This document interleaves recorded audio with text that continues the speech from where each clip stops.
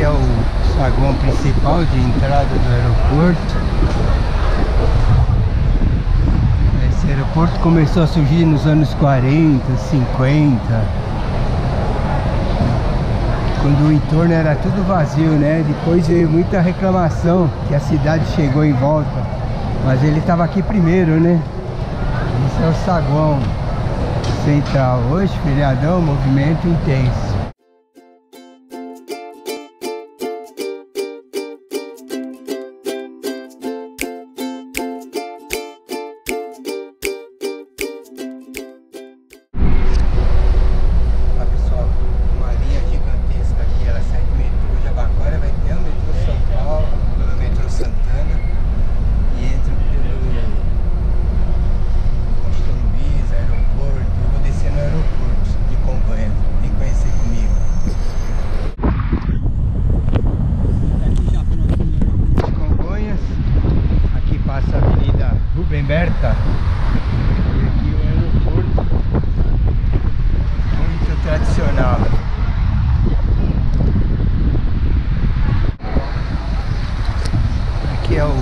Saguão principal de entrada do aeroporto.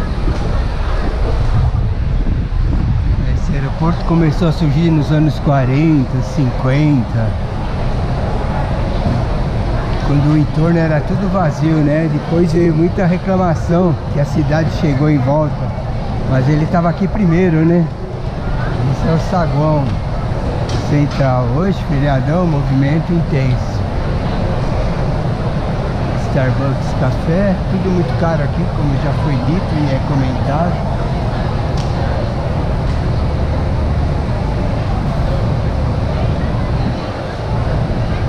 Um sanduíche natural 30 reais. Salada de frutas 20. É isso aí, vamos subir lá de cima ver o que a gente vê. Muito. Sempre que tanta gente sobe, não tinha embarque por aqui antes. Esse é o saguão, vão central então.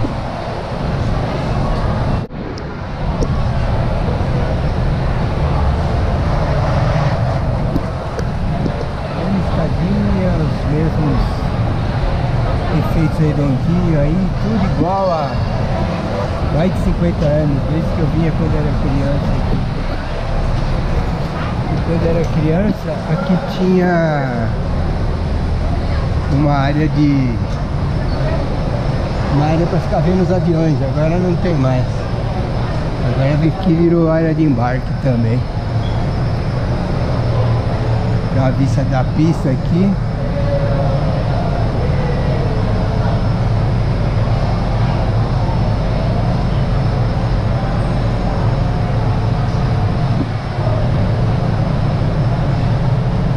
Em cima tinha um restaurante, não sei se ainda tem.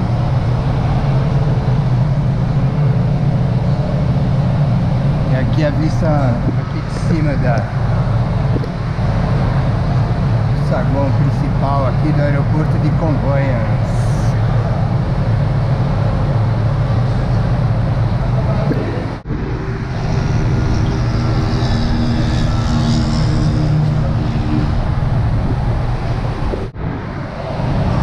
Mais um outro ângulo aqui do saguão central.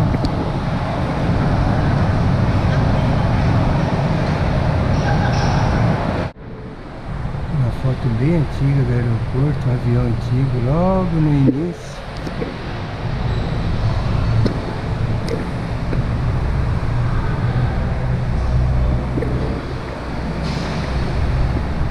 Eu lembro desses ônibus aqui para embarcar. Cheguei a pegar esses ônibus. E quando os táxis eram os Fusca, né? Uma série de Eletras.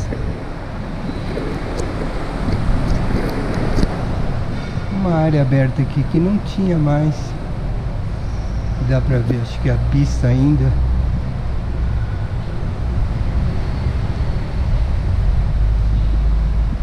É, a pista tá do outro lado.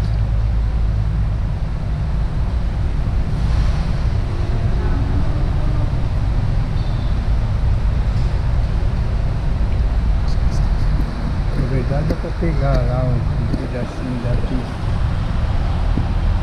Tem dois voos saindo.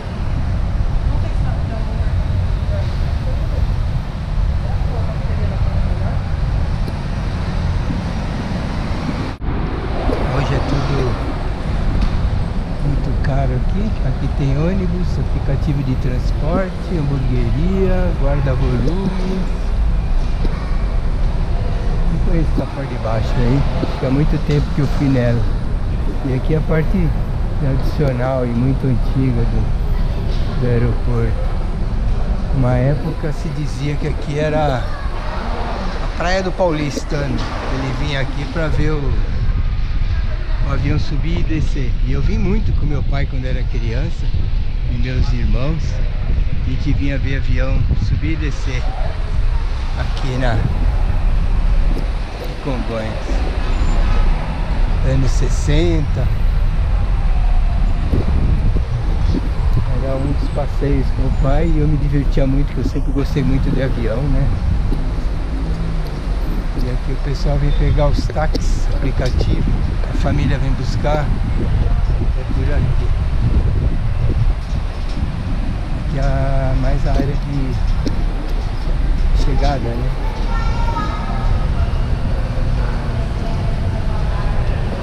Cheirando doce, doce de coco, cocada, um doce forte, bom. Informações turísticas, São Paulo.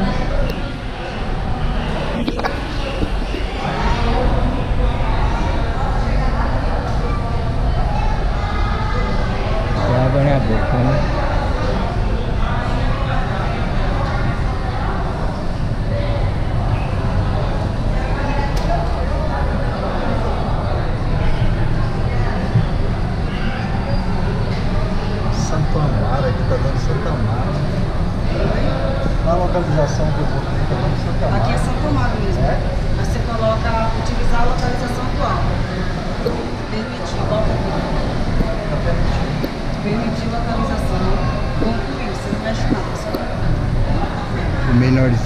128 reais.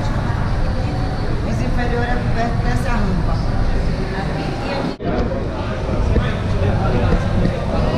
Tenta ligar a terceira já tá tudo lá. Ele pode dar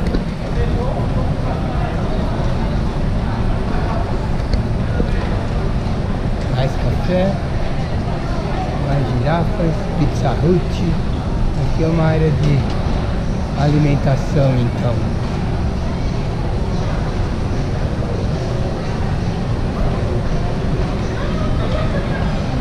Desse para o embarque de ônibus, né? Me dá uma olhada.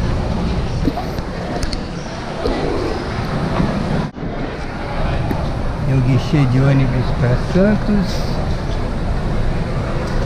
Ônibus para Guarulhos, direto via corredor. Táxi vermelho e branco, tarifa, táxi tarifa comum. E o táxi comum aqui. E a área onde pode então embarcar.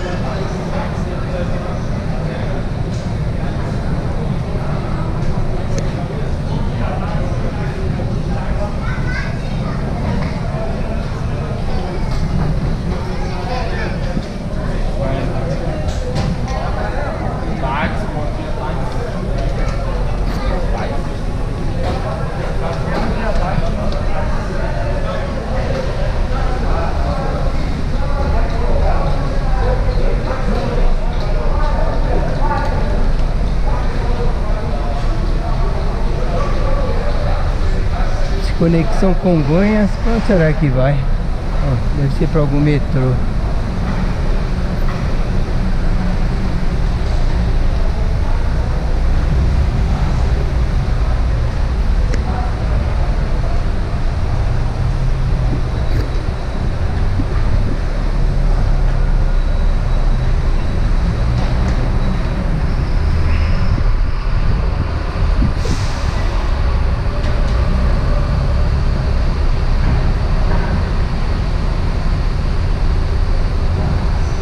Ah, vai para São Judas, terminal São Judas.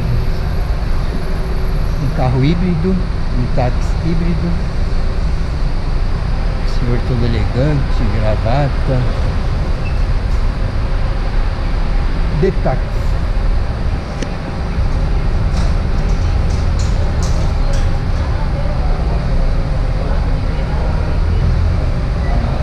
Esse é o aeroporto de Congonhas. Guarda-volumes.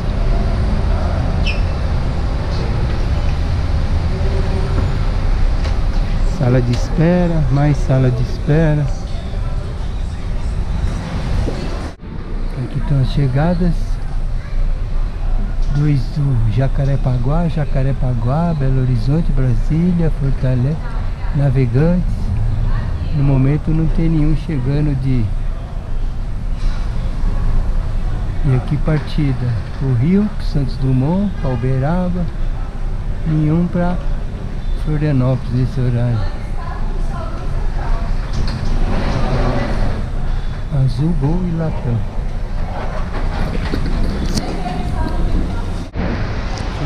Florianópolis, a minha querida, tem um a meio-dia e dez. Dois a meio-dia e dez. Um da Gol e um da Latam. E navegantes.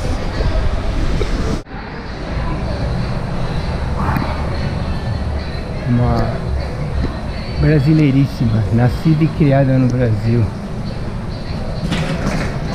Loja com artigos do Brasil, artesanato. Que Nossa Senhora interessante.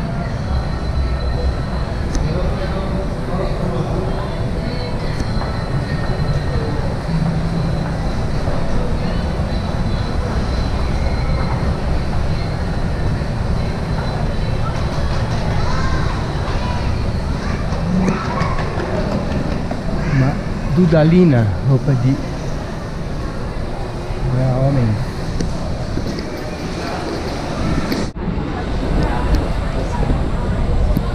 Então, continuamos aqui no, na área de embarque, área de check-in.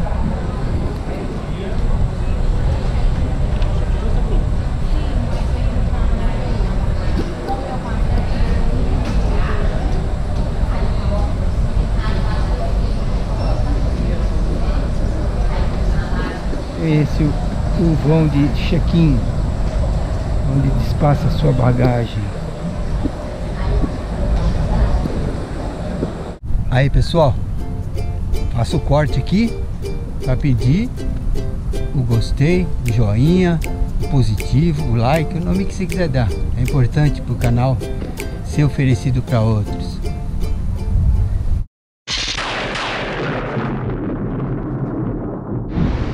Tem um gol do Brasil. Ele está, tem fila para a partida, fila de de aviões. E esse da Gol, Gol do Brasil, provavelmente, olha lá, tem o escudo da CBF. Deve ter a ver alguma coisa com a seleção brasileira.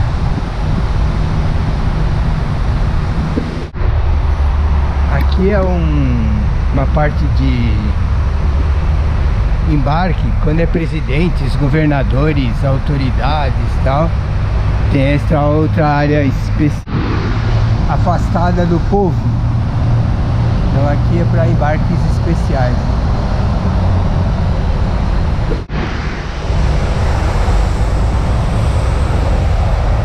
Aqui tem uma belíssima árvore e nós estamos perto da onde meus pais moravam quando eu nasci. Ou aonde eu nasci, né? Gente está pertinho do voo do Brasil. 58, 62, 70, 94, 2002.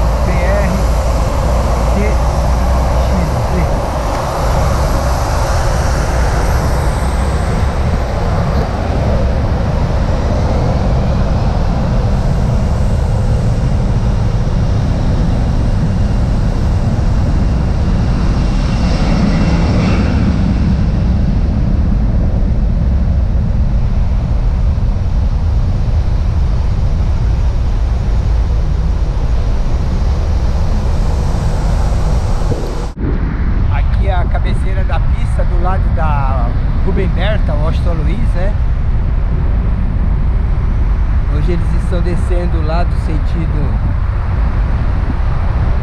oeste para leste. E aqui a cabeceira teve esse prolongamento de uns 100 metros que eles devem ter achado importante e significativo. Foi aqui que o avião deslizou, não conseguiu subir, derrapou e caiu aqui nessa praça em frente. E na minha infância eu morava exatamente atrás dessas árvores.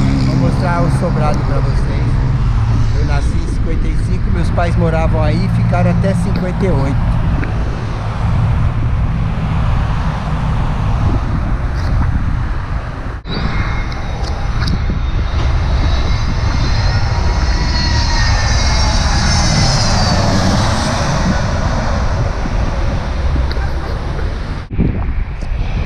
Na praça então e cada um desses postes representa uma das pessoas que fizeram a passagem, né? E aqueles sobrados lá do fundo é onde eu nasci, meus pais moravam lá. Vamos ver se eu identifico qual deles.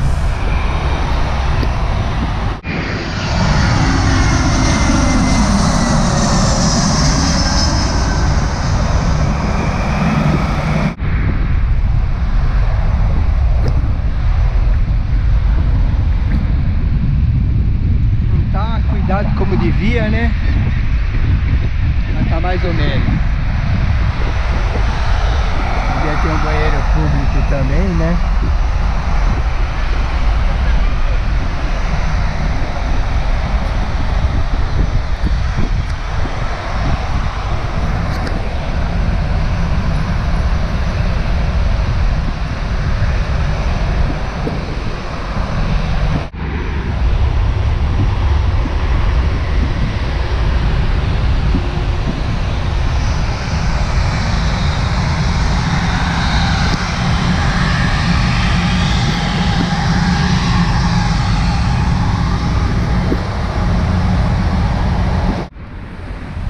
E esse sobrado do lado esquerdo, o bege, é onde eu, meus pais moravam quando eu nasci.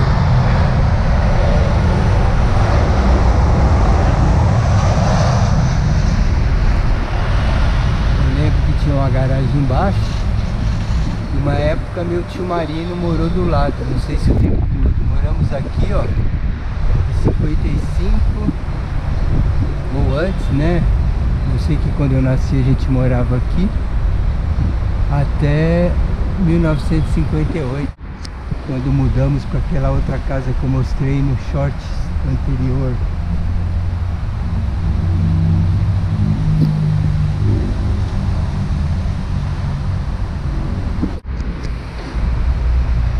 E curiosamente foi bem em frente que caiu aquele avião na cabeceira da pista. Na época, o único jato que tinha, né, que chegou no final, pouco antes da gente mudar, foram os Caravelle. Os jatos trijato, né, os primeiros jatos a chegarem. Então era bem mais, bem menos barulhento quando eu nasci. Talvez por ter nascido tão na cabeceira do aeroporto e meus primeiros três anos ter vivido aí que eu gosto tanto de avião, aeroporto e essas coisas aí, né?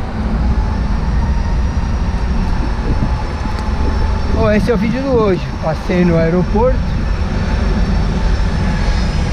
Mais um gol vai subir. E eu sou saúde perfeita.